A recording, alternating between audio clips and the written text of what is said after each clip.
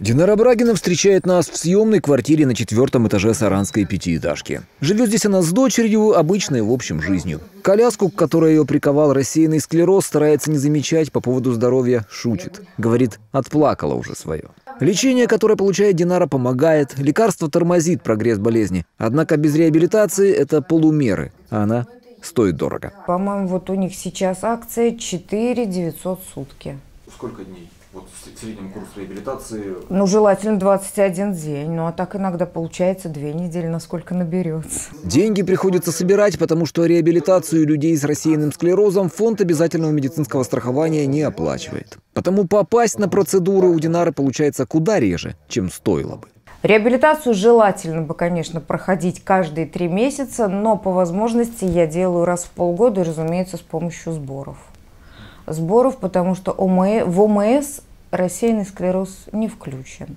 Нас, как бы, наверное, считают уже ну, вычеркнутыми, как бы неизлечимые заболевания, но что с ними-то и возиться. Не просто складываются взаимоотношения и с благотворительными организациями. Готовых помочь людям с рассеянным склерозом единицы. Наверное, 98% они вот видят, что РС и нет.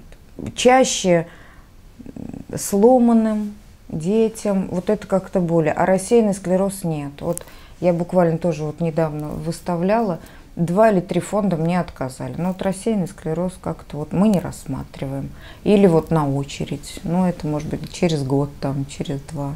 А время играет против Динары, против усилий лечащих ее врачей, даже против на самом деле эффективного препарата. Он тормозит процесс, то, чего добились мы.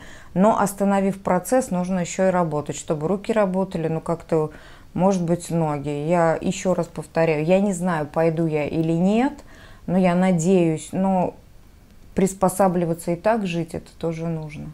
Мечтает Динара о собственном жилье, из которого можно самостоятельно выбраться в безбарьерный город, который пока тоже в мечтах. А регулярная реабилитация – насущная потребность, без удовлетворения которой даже самая заветная мечта так и останется мечтой. Ведь рассеянный склероз сам по себе не отступит. Разумеется, реабилитацию необходимо проходить, потому что ну, заболевание считается неизлечимым, хоть я и верю, может быть, когда-то что-то изобретут. Ну, я считаю, что человек, даже если в кресле сидит, надо обязательно заниматься. Потому что, ну, посидишь ты, потом ты ляжешь. Это быстро все. Контакты Динары Брагиной вы видите сейчас на экране, а если вы смотрите сюжет в интернете, их можно найти в описании. Павел Степаненко, Павел Талабаев. Наши новости.